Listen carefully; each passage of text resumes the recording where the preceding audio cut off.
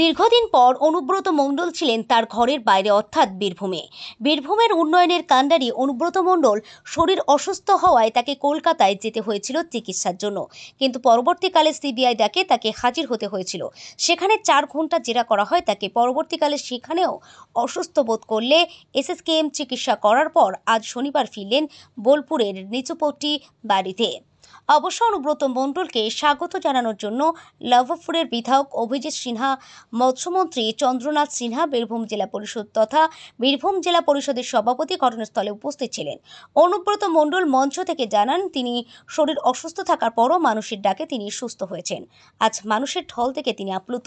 এদিন প্রায় কুড়ি হাজারের মতো মহিলা পুরুষ তাকে সম্মাননা দেন এবং দীর্ঘ আয়ু কামনা করা হয় সকলের মুখে। তাই অনুব্রত মণ্ডলকে দেখার জন্য জনসমুদ্র তৈরি হয়েছিল। অনুভব করেছে অনুব্রত মণ্ডল। তার কথা বারবার মন্দির মসজিদ গির্জায় গিয়ে দোয়া চেয়েছে, আশীর্বাদ চেয়েছে।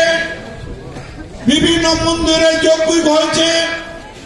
একটাই কারণ অনুব্রত মন্ডল যেন তাড়াতাড়ি সুস্থ হয়। আমরা বীরভূমের মানুষ সৌভাগ্যবান মানুষ। আজকে আমরা তাই আজকে গর্বিত।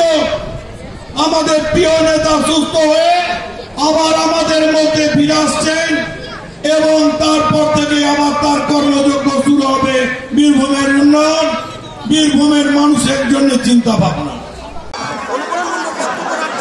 ঈশ্বর এবং আল্লাহর দোয়াতে আমি অসুস্থ ছিলাম।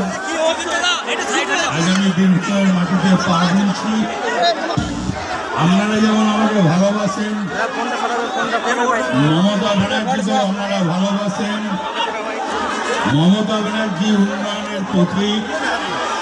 আমরা চাইব দেখতে পাচ্ছে না সরাও তো সরাও। ঈশ্বর আল্লাহ আপনাগুলো মঙ্গল করুক আপনারাও সুস্থ থাকুক। কোনো অন্যায় কাজে থাকবেন না মানুষের পাশে থাকুন। মানুষের উন্নয়ন করুন, মানুষকে ভালোবাসুন। যে শ্রেণির মানুষ হবে, তাদের কাজের মাধ্যমে আমি আর একটা কথা বলি, আপনাদের আশীর্বাদে আমি সুস্থ, কিন্তু আমাকে বিশ্রাম নিতে হবে। কিছু মনে করবেন না। ওর গ্রাম থেকে এত লোক কোথায় লোকের সবাই আমার চেয়ে যারা বড়, আমার প্রণাম নেবেন। আর আমার চেয়ে যারা ছোট, আমার অন্তরের ভালোবাসা নেবেন। আমি আছি, আমি মরি নাই।